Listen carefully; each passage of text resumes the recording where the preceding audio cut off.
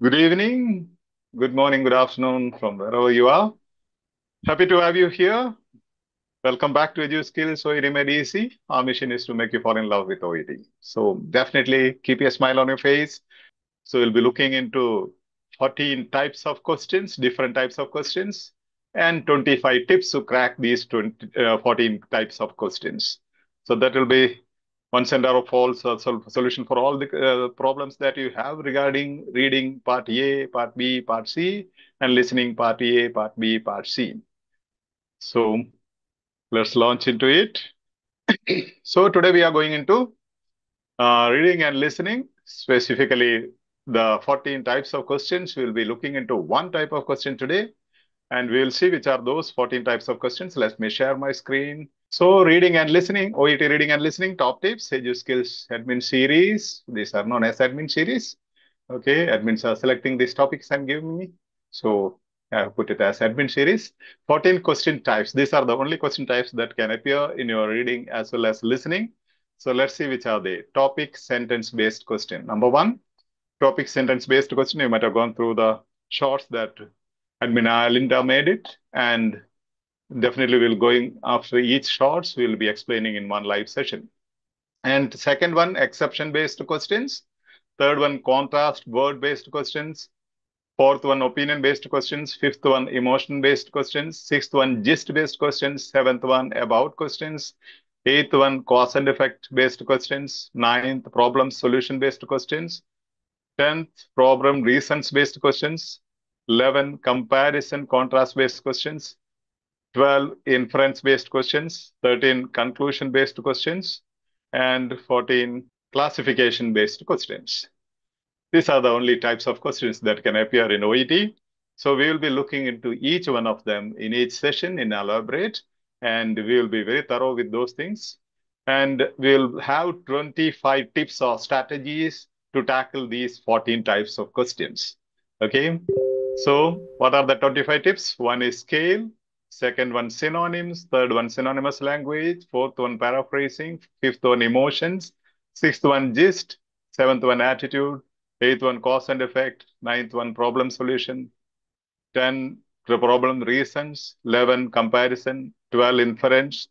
13 contrast expressions, 14 sequential expressions, 15 name, 16 number or percentage, 17 modal verbs, 18 adjectives, 19 headings, 20 subheadings, 21 hedging words, 22 classification, 23 absolutes, 24 opposites, 25 grammar mistakes. Okay, that's it. All we have for you. And we'll take you step by step, provided you are active. And I'll be giving you a task every day. Practice it. You need not do anything else. Don't take any tension. Give me all the tensions. I'll take care of those tensions. And you'll definitely sail through. Okay, keep smiling yeah, tip one, topic sentence based question.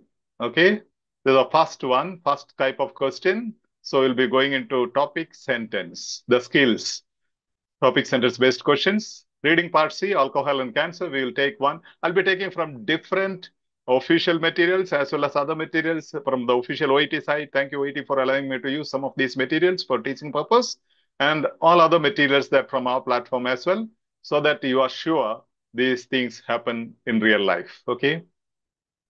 And so we have this paragraph here. Let's have uh, read this. Yeah. The Cancer Council advises that A option, there are many health benefits of alcohol. B, the benefits of drinking red wine to prevent or treat heart disease. In conclusion, C. Evidence that alcohol can prevent or treat heart disease is inconclusive. D. There is a safe level of drinking one or two drink standard drinks a day when it comes to cancer. Script. But what about the heart health benefits of alcohol? Well, the evidence is inconclusive and potentially flaved at present. The Cancer Council says adding that the National Heart Foundation advises against drinking red wine or any type of alcohol to prevent or treat heart disease. Okay, let's stop it here. Let's stop it here. sentence. Okay. We need only one sentence that is a topic sentence. We are going to uh, check out without reading other things. Will I be, will I be able to connect to any of these options? Okay. See the options. And the first uh, topic sentence is this. What about the heart health benefits of alcohol? Well, the evidence is inconclusive. The evidence is the heart health benefit of alcohol. Evidence is inconclusive. Do you have any clue in any option? Please type in in the chat box in the YouTube. It's very beautiful. One, one of these options, any of these options.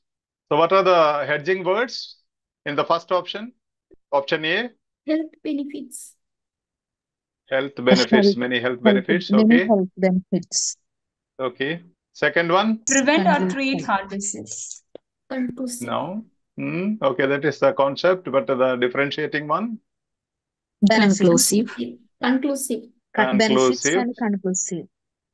And here evidence is Inconclusive. Inconclusive. inconclusive. Okay. And here, Safe. one or two? One or two standard of drinks a day. drinks a day. Okay. Now check out these uh, keywords, hedging words, and the topic sentence, only this part. Check out only this part, first part. Top, this is the topic sentence. Which one goes with this? Option C. Benefits, Mm. evidence, Option, benefits, evidence, evidence. save level. Okay, any any idea? This read only this what is highlighted in. Yeah, there are so many putting in uh, in the uh, YouTube comment space. C C C C. I can see so many. C's. One only one B. See, the B says the benefits of drinking red wine to prevent or treat heart disease means the benefit of drinking alcohol is conclusive. C Yeah. says the evidence of drinking alcohol for the heart is inconclusive. So majority are saying C, only one has put B. Put on your options. Let's see how beautiful it is. We have not read the paragraph. We have read first sentence, only first sentence. Now, see, this is so clear. The Cancer Council advises that the C option, the evidence that alcohol can prevent or treat heart disease is inconclusive. First sentence says the evidence is inconclusive. Correct? Topic sentence says the evidence is Inconclusive. So, first uh, type of question, you should definitely focus on the topic sentence that's required to understand the whole paragraph. The whole paragraph is an explanation of the topic sentence, generally the first sentence. Okay, now the whole paragraph will speak why the evidence is con- inconclusive. The reasons Yeah. and explanations will be given. And there are some people who have one or two have who said D or B. Okay, now we see. Now, Cancer Council says, and you can say Cancer Council name. I am not touching those strategies. There are so many strategies blinking here. Maybe the Cancer Council says, Cancer Council advises. These are there. Now, I, I don't want to confuse. That's why I'm not touching upon that. Okay. Just see. Those of you who have attended my previous sessions will understand. This is another confirmation. And Again, there is one more clue here. Even without reading the topic sentence, you can choose the answer. Can anybody put in the chat box, in the comment space, how you can choose the answer even without looking into, the, into this paragraph, even the topic sentence?